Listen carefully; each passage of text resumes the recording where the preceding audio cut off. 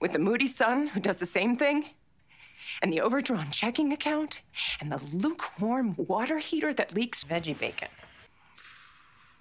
Hey, uh, maybe we could just unplug it or cut a wire or something? Oh, listen, I see no reason to stay down here without Veggie bacon. when it's something that I can easily fix. Aha.